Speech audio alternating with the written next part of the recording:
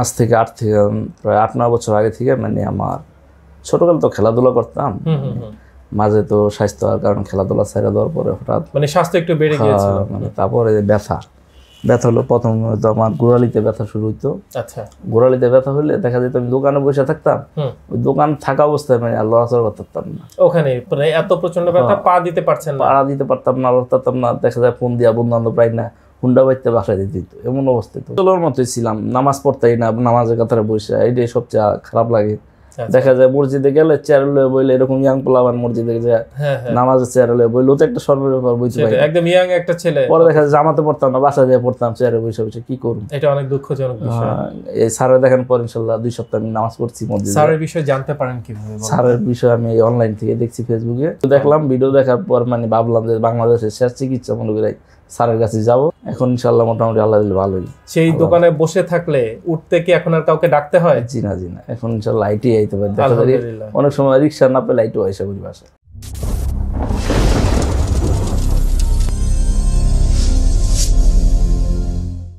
আসসালামু আলাইকুম। দর্শক যে যেখানে আছেন যেমন আছেন আশা করি সবাই ভালো আছেন এই মুহূর্তে। যারা এই মুহূর্তে আমাদের ভিডিওটি দেখছেন দেশে বা দেশের বাইরে সকলের সুস্বাস্থ্য কামনা করছি।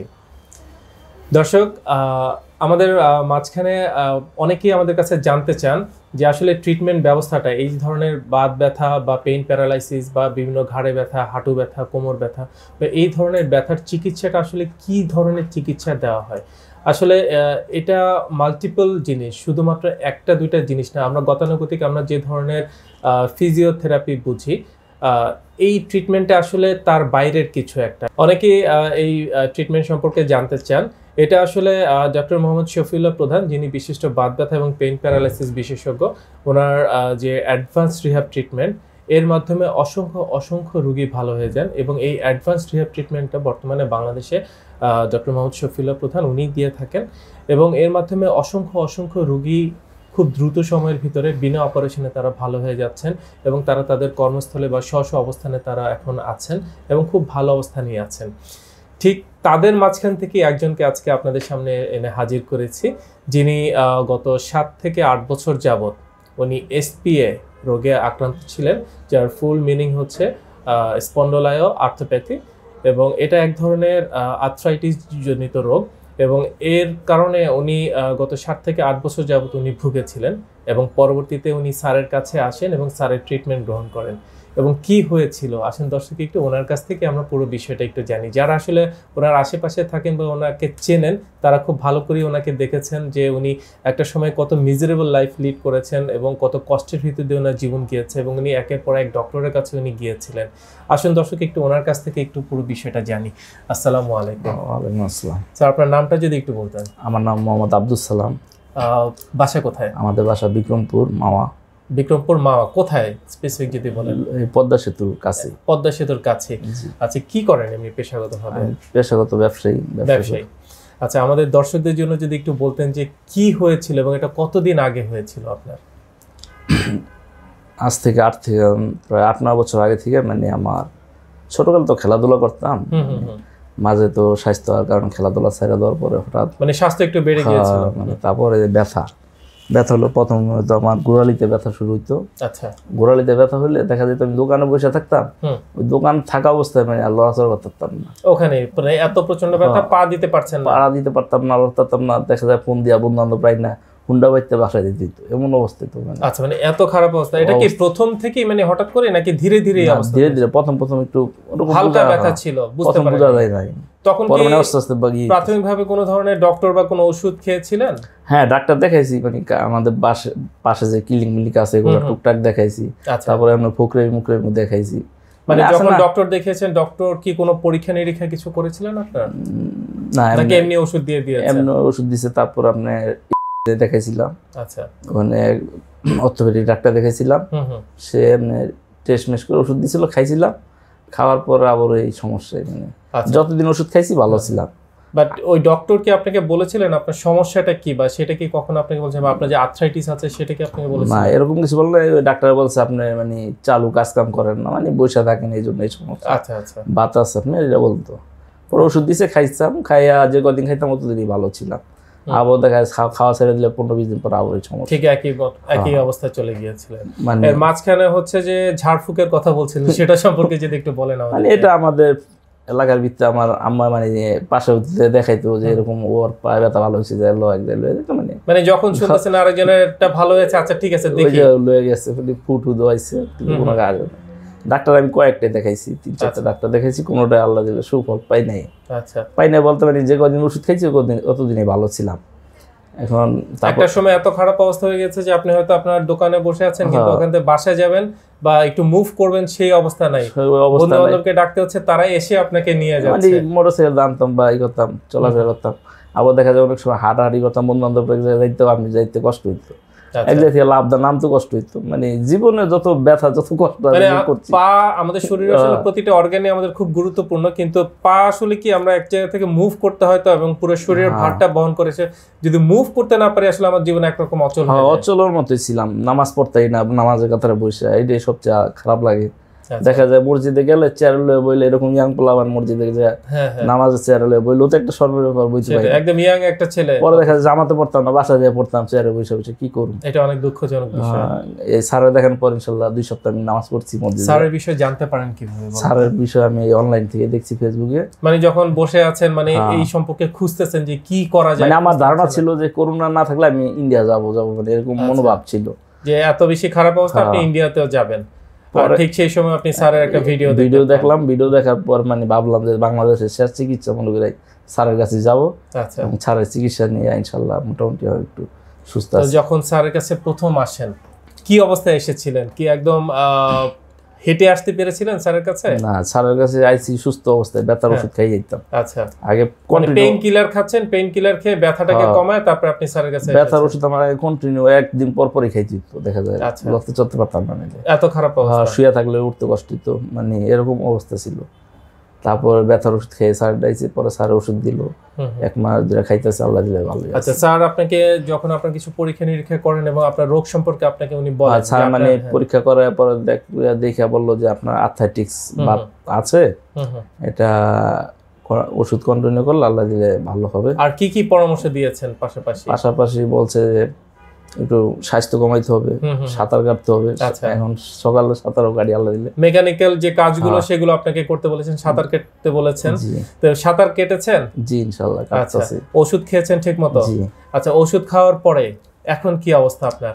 এখন ইনশাল্লাহ মোটামুটি আল্লাহ দিলে ভালোই। সেই দোকানে বসে থাকলে উঠতে কি এখন আর কাউকে ডাকতে হয়? জি না জি না। এখন ইনশাল্লাহ আইটি আইতে পারে আলহামদুলিল্লাহ। অনেক সময় রিক্সা না পেলে লাইট আইসা করি বাসা হেঁটেই চলে আসতেছেন। আগে যখন সবাইকে ডাকতে হইতো হয়তো এই ব্যস্ত আছে অন্য ব্যস্ত আছে হ্যাঁ। একটা ডিফিকাল্ট একটা সময়। সো এই যে দীর্ঘ একটা সময় গত আট বছরের একটা পরিক্রমা যেখানে আপনি একটা সময় চিন্তা করেছেন যে আপনাকে দেশের বাইরে হয়তো যেতে হতে পারে। আমরা কখন চিন্তা করি? যখন আসলে শেষ পর্যায়ে চলে যাই তখনই আমরা চিন্তা করি যে আসলে উন্নত চিকিৎসা জি। বাইরে চলে যাব। যদি ইকোনমিক্যাল ভাবে আমরা হয়তো অত বেশি সলভেন্ট না তারপর আমরা চেষ্টা করি। তো কখনো কি মনে হতো না যে আমি হয়তো আর কখনো সুস্থ হব না? বা আপনার সাথে যারা সবসময় সব বন্ধু বান্ধব ছিল তারা একসাথে চলাচল করতেছে। মাঝে মাঝে কেউ হয়তো কটুক্তিও করতো অনেকে কেউ হ্যাঁ। পেছনে অনেক কথা বলতো। সেগুলো শুনলে হয়তো একটু কিছুটা মনও খারাপ হতো। মানে এরকমটাই মনে হতো যে আমি কখনো সুস্থ হব না বা আগের মতো হব না। এরকমটা কাজ করতো ভিতরে? এরকমটা দেখা যায় অনেক সময় বন্ধু আমাদের বসে কি খেলব ফুটবল খেলব আমি তো পারতাম না। মানে সবাই গবেষণা করতো। হ্যাঁ। খেলতে পারব তো খেলতে পারব না মানে এটা ওইটা আপনি একটু আলাদা হয়ে হ্যাঁ। সবসময় সবার থেকে। বা একটা ক্যাসাল ক্যাসাল থাকলেও বেশি দূরে যেতাম একটা থাকতাম মানে এরকম ভাবেই চলতাম। তো এই যে দীর্ঘ একটা সময় পরে এই যে এখন সম্পূর্ণ সুস্থ আছেন ভালো আছেন হাঁটাচলা করতে পারছেন আগের সব কাজগুলি করতে পারছেন স্বাভাবিকভাবে কেমন লাগছে আপনার কাছে? জি আলহামদুলিল্লাহ আল্লাহ পাকে অনেক ভালো লাগতেছে। আমাদের দর্শকদের জন্য যদি কিছু বলেন, কারণ আপনার মতো কিন্তু এরকম অসংখ্য অসংখ্য রোগী আছেন, যারা হয়তো আপনার মতো লাকি না, যারা হয়তো জানে না কোথায় গেলে একটা ভালো ট্রিটমেন্ট পেতে পারেন, কার কাছে গেলে এই ধরনের চিকিৎসা পেতে পারেন, তাদের জন্য যদি কিছু বলেন। জি, আলহামদুলিল্লাহ, আমি ডাক্তার শফিউল্লাহ প্রধান স্যারের চিকিৎসা নিয়ে এখন খুব সুস্থ আছি, আল্লাহর রহমতে। আপনারা যারা আমার মতো কষ্টদায়ক জীবনযাপন করছেন, তারা ডাক্তার শফিউল্লাহ স্যারের কাছে আসতে পারেন, পরামর্শ নিতে পারেন। এবং তার ফেসবুক লিঙ্ক আছে এটাও দেখতে পারেন দেখা অনেক পরামর্শ দিছে স্যারে ওটাও দেখতে পারেন। ধন্যবাদ আপনাকে। দর্শক এতক্ষণ আপনারা শুনলেন আমাদের এই ভাই ঢাকা বাংলাদেশের একটি খুব প্রসিদ্ধ একটি জায়গা মাওয়া সেখানে উনি আছেন এবং দেখুন উনি ওনার ব্যবসার কাজে দেখুন যে এমন একটা অবস্থা হয়ে গিয়েছিল যে উনি হ্যাঁ নড়াচড়া করতে পারেন না একদম সম্পূর্ণ সুস্থ স্বাভাবিক ইয়াং একটা মানুষ হঠাৎ করে একদম ডিজেবল হয়ে গেছেন। চিকিৎসা নিচ্ছেন এবং একটা সময় ঝাড়ফুঁকেও আমরা করেছি। যে মানুষ আমরা আসলে এই জিনিসগুলোতে বিশ্বাস করি না, কিন্তু যখন আমরা অসুস্থ হয়ে যাই, তখন যে যা বলতেছে মনে হচ্ছে আচ্ছা একবার করেই দেখি না। কিন্তু এগুলো করতে গিয়ে দেখা যায় মাঝে মাঝে আমরা আরও বিপদ ডেকে নিয়ে আসি আমাদের নিজেদের জন্য। মাঝে মাঝে দেখা যাচ্ছে এমন কিছু হাতুড়ের ডাক্তার আছে বা তার তাদের হয়তো এই বিষয়ে কোনো ধরনের জ্ঞান নেই, তারাও চিকিৎসা দেওয়ার চেষ্টা করেন এবং সেই চিকিৎসা নিয়ে। এবং আমরা এমন অনেক মানুষও পাই যে ডক্টর না বলছে যে আপনি এটা করেন, আপনি এটা করেন। এমন কিছু ব্যায়াম বলে যে আপনি, আমি এই ব্যায়ামটা করেছি, আমি সুস্থ হয়েছি, আপনি এই ব্যায়ামটা করেন, আপনি ঠিক হয়ে যাবেন। আসলে এটা কিন্তু সম্পূর্ণ ভুল একটি জিনিস, কারণ ওনার জন্য যে চিকিৎসাটা আপনার জন্য সেই চিকিৎসা নাও হতে পারে। হয় সেই ভুলের কারণে কিন্তু আরও জিনিসটা খারাপ হয়ে যেতে পারে। এই জন্য আসলে প্রয়োজন যে একজন বিশেষজ্ঞ চিকিৎসক বা বিশেষজ্ঞ ডক্টরের কাছে এসে তার যে মতামত, আপনার কি করা উচিত সেটা আগে আপনার জানা উচিত এবং সেই অনুযায়ী আপনাকে পরবর্তী স্টেপ নেওয়া দরকার। যেমনটা আমাদের এই ভাইয়ের ক্ষেত্রে হয়েছে, দেখুন উনি স্যারের কাছে এসেছেন এবং স্যারের ট্রিটমেন্ট নিয়েছেন, স্যারের ওষুধ খেয়েছেন এবং ওষুধে কিন্তু উনি এখন সম্পূর্ণ ভালো আছেন, সম্পূর্ণ ভালো অবস্থায় আছেন, নামাজ পড়তে পারছেন, মসজিদে গিয়ে এখন ওনাকে চেয়ার নিতে হচ্ছে না। এটা অনেক অনেক বড় একটা ব্যাপার। দর্শক মণ্ডলী, আশা করি আপনাদের ভিতরে এরকম যারা আছেন, এরকম অসংখ্য অসংখ্য ভাই বোন আছেন, হয়তো আপনাদের আত্মীয় স্বজন আছেন বা আপনাদের ভিতরে যদি যারা এই মুহূর্তে দেখছেন তাদের কাছে শুধু এইটুকু মেসেজ একটু পৌঁছে দেওয়াটা আসলে আমাদের সকলের দায়িত্ব এবং কর্তব্য বলে আমরা মনে করি। যে আপনার একটা সঠিক উপদেশ বা একটি সঠিক নির্দেশনা একটা মানুষের জীবন সম্পূর্ণভাবে আসলে বদলে দিতে পারে। আশা করব আমরা সবাই এই কাজটুকু আমরা করব। এবং সকলকে আমরা জিনিসটা জানানোর চেষ্টা করব, কারণ বর্তমানে আমাদের দেশে এরকম অসংখ্য ভালো ভালো ডক্টর আছেন, ভালো ভালো হসপিটাল আছে, যেই হসপিটালগুলোতে বা যেই ডক্টররা এই ধরনের ট্রিটমেন্ট দিয়ে থাকেন এবং যাতে খুব অল্প সময়ের ভিতরে এই রুগীরা সম্পূর্ণ ভালো এবং সুস্থ হয়ে, আবার আমাদের কাতারেই তারা দাঁড়িয়ে যাচ্ছেন, সুস্থ মানুষদের কাতারে দাঁড়িয়ে তাদের মতো করেই তারা দেশকে সেবা করে যাচ্ছেন। ধন্যবাদ আপনাদের সকলকে আমাদের সঙ্গে থাকার জন্য, আসসালামু আলাইকুম।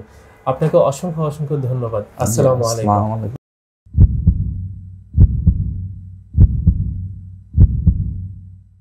দীর্ঘজীবী হওয়ার প্রথম পদক্ষেপই হচ্ছে সুস্বাস্থ্য নিশ্চিত করা।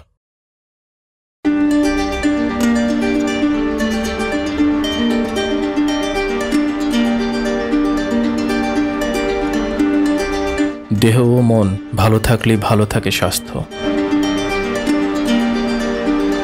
আমাদের রয়েছে আধুনিক যন্ত্রপাতি।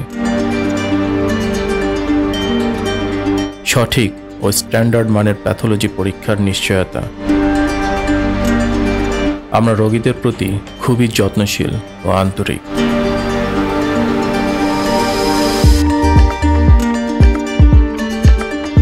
আমরা সর্বপ্রথম প্রতিটি রোগীর সঠিক রোগ নির্ণয় করি, এরপর রোগ অনুযায়ী অপারেশনবিহীন চিকিৎসা দিয়ে থাকি। আমাদের প্রতিটি ডক্টর, নার্স ও থেরাপিস্ট প্রশিক্ষণপ্রাপ্ত ও দক্ষ। আমরা প্যারালাইসিস রোগীদের নতুন করে চলতে শিখাই।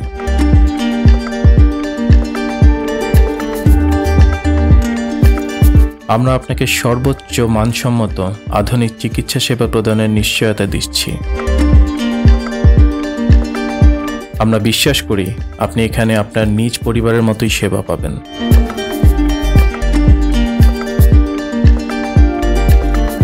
বাত ব্যথা প্যারালাইসিস ও আর্থ্রাইটিসের একটি নির্ভরযোগ্য প্রতিষ্ঠান। আমরা চাই না আপনারা বারবার আমাদের কাছে ফিরে আসুন।